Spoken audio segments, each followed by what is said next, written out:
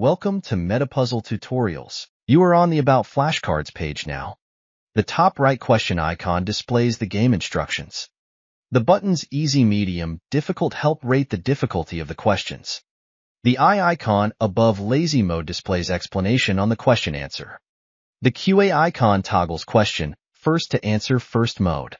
Now, it's time to choose the topic you wish to learn. Press Choose Topic, select Unit, topic, and subtopic of your choice. To begin, read the question on the flashcards, guess the answer, tap to see if you are correct, rate your answer below. You are displayed the next question. Rating the question difficult will make the question reappear at the end of the session. Toggling the cue and a button displays answer first. It's like you begin to think in terms of what the word means. Pressing the top left pause button pauses the game, and you are given options to resume slash restart, slash quit slash, or share GamePin. Learn more about GamePin in another tutorial. Alternatively, you can press the lazy mode to activate the self-reading mode. It helps you sit back and listen to the questions and answers. Happy learning!